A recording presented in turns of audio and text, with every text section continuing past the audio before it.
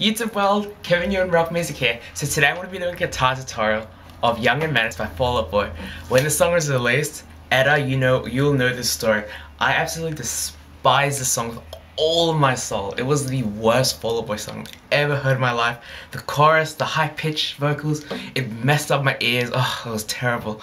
Come 19 hours later after the release though, it's one of my favorite Fall Out Boy songs and actually songs of all time to be honest. I love it so much. So today I'm going to be teaching you the verses and the chorus. So let's get straight to it and be champions. Alright, so the verse, the first few riffs are going to sound a bit like this.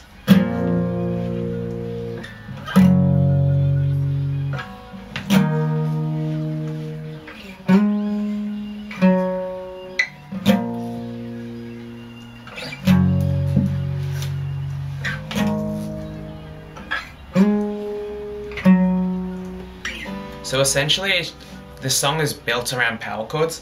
So for this, for these two first riffs, what you're gonna do is power chord on the fifth string on the first fret. So one, three, and three. So that's the first power chord. Then you move down to the second fret on the top string. And now back on the fifth string, power chord again on the sixth fret.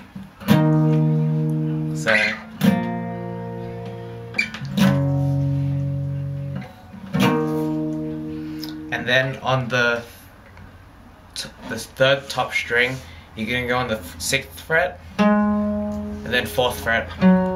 So.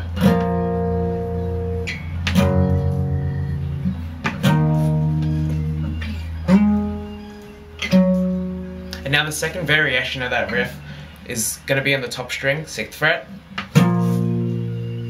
second fret and then fourth fret and then six, four again. And then for the, so you play those riffs three times.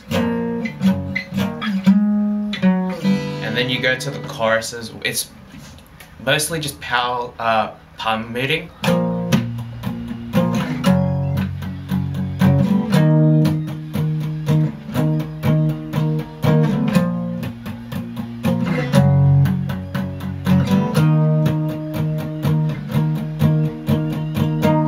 So it's the same power chords. So the six on the top string, second on the top string, and then sixth fret on the fifth string. So those are the verses wiped out, well the first verse. I'm not too sure about the second verse. There's a lot of little sneaky riffs here and there, and I haven't been able to, haven't learned them yet. So when I do learn them, I'll teach you. And then the chorus, oh I love the chorus.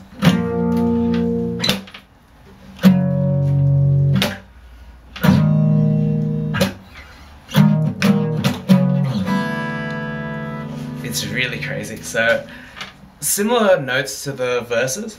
So on the fifth string, first fret, power chord. And then on the top string, second fret. And now we're doing something different. We're not doing a power chord. It's six on the top string, six on the fifth string, and sixth fret on the fourth string. So you just hold it down. So.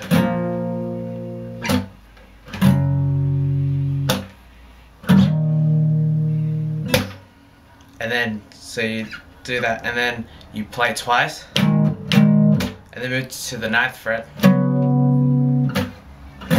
So first fret on the fifth string, second fret on the top string, and then six, six, six, nine. And that's essentially it for Young and Menace. Just play around with the different variations. Like the second variation of the, the first verse isn't a real thing. It doesn't sound right, but it's, it's just fun to play. It's better to play something which sounds different than just playing the exact same thing over and over again. It just sounds really bland and boring. So yeah, I really hope that helped. And yeah, if you learned Young and Menace from this video, give it a massive thumbs up, give it a chuck a comment down below, and thank you so much. And yeah, recommend me what song I should do next.